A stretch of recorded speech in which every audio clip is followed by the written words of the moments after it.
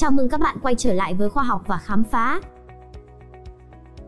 Như chúng ta đã biết, mặt trăng là vệ tinh tự nhiên duy nhất của trái đất và đã được con người quan sát từ thời thượng cổ vì sự xuất hiện nổi bật trên bầu trời với độ sáng cao thứ hai sau mặt trời.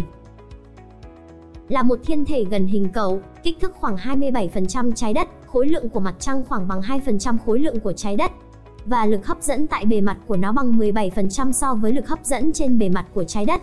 Mặt trăng chứa nhiều đất đá silicat và không có khí quyển, thủy quyển hay từ quyển đáng kể.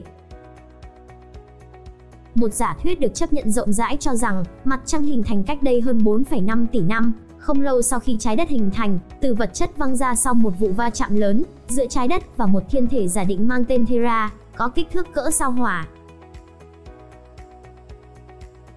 Trong hệ mặt trời, mặt trăng là vệ tinh tự nhiên lớn thứ năm.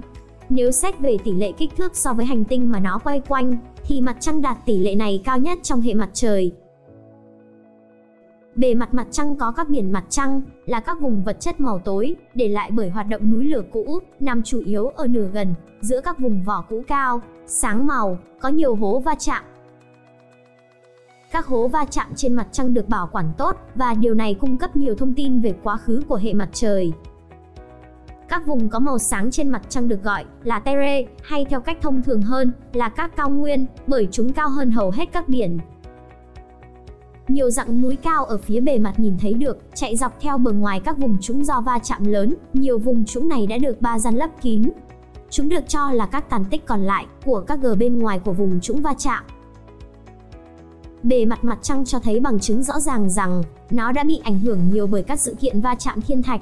Các hố va chạm hình thành khi các thiên thạch và sao chổi va chạm vào bề mặt mặt trăng, và nói chung có khoảng nửa triệu hố va chạm với đường kính hơn 1 km. Do các hố va chạm hình thành với tỷ lệ gần như cố định, nên số lượng hố va chạm trên một đơn vị diện tích, trồng lên trên một đơn vị địa chất, có thể được sử dụng để ước tính tuổi của bề mặt. Vì không có khí quyển, thời tiết và các hoạt động địa chất gần đây, nên nhiều hố va chạm được bảo tồn trong trạng thái khá tốt so với những hố va chạm trên bề mặt trái đất. Trọng trường ở bề mặt mặt trăng bằng khoảng 1 phần 6 so với trái đất, Nhiệt độ mặt trăng thay đổi mạnh theo điều kiện nhận ánh sáng mặt trời, trung bình từ khoảng âm 153 độ C vào ban đêm đến hơn 100 độ C vào ban ngày. Và mới đây nhất, theo các nhà nghiên cứu cho biết, một miệng núi lửa bao phủ gần một phần tư bề mặt mặt trăng đã tiết lộ thông tin mới về cách vệ tinh tự nhiên của trái đất hình thành. Những phát hiện này có ý nghĩa to lớn một phân tích mới về vật chất được phun ra từ vụ va chạm lưu vực Nam Cực đã cho phép các nhà khoa học tinh chỉnh dòng thời gian phát triển lớp phủ và lớp vỏ mặt trăng, sử dụng phóng xạ thorium để khám phá thứ tự của các sự kiện. Nhóm các nhà nghiên cứu do nhà địa chất hành tinh Daniel Moriarty thuộc Trung tâm chuyến bay vũ trụ ga đất của NASA viết, những kết quả này có ý nghĩa quan trọng trong việc tìm hiểu sự hình thành và tiến hóa của mặt trăng trên mặt trăng hoàn toàn được bao phủ bởi các vết sẹo va chạm lưu vực Nam Cực, thực sự nổi bật. Với bề ngang 2.500 km và sâu tới 8,2 km, đây là một trong những hố thiên thạch có tác động lớn nhất trong hệ mặt trời. Nó được tạo ra bởi một vụ va chạm khổng lồ vào khoảng 4,3 tỷ năm trước, khi hệ mặt trời vẫn còn trẻ.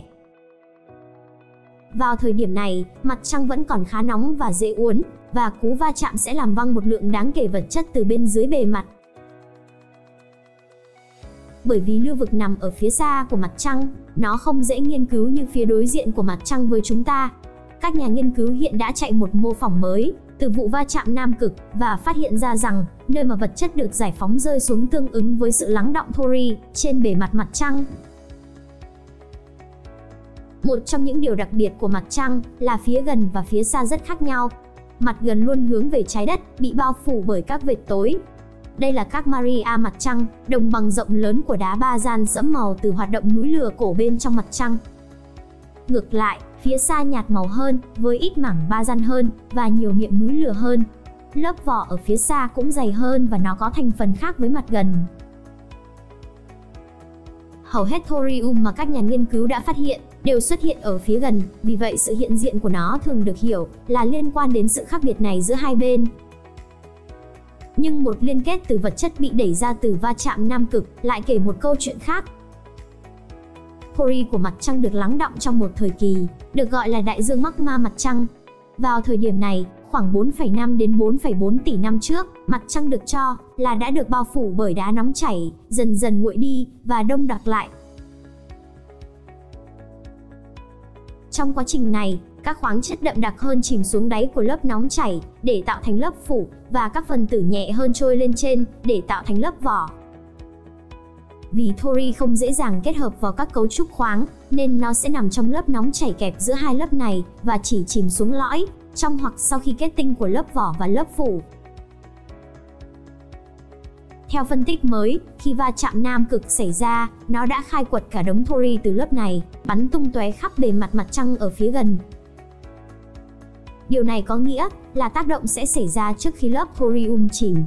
Nó cũng gợi ý rằng lớp thorium tại thời điểm đó phải được phân bố trên toàn bộ bề mặt thay vì tập trung ở phía gần mặt trăng. Vụ va chạm nam cực cũng làm tan chảy đá ở độ sâu lớn. Về mặt thành phần, điều này rất khác với vật liệu được phun khắp bề mặt, với rất ít thori.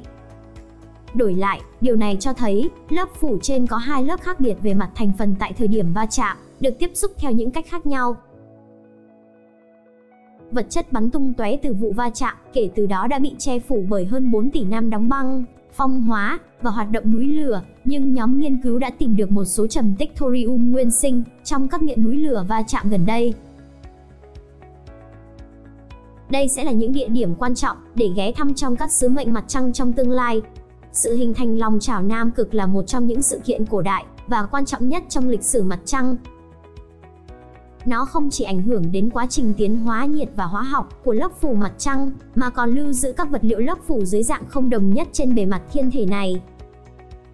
Khi chúng ta bước vào kỷ nguyên mới của khám phá mặt trăng quốc tế và thương mại, những vật liệu lớp phủ này ở bề mặt mặt trăng phải được coi là một trong những mục tiêu ưu tiên cao nhất cho sự tiến bộ của khoa học hành tinh.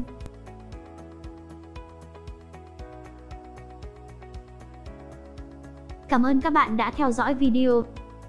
Nếu thấy video này hay, đừng quên like và đăng ký để nhận những video mới nhất từ khoa học và khám phá nhé. Xin chào và hẹn gặp lại.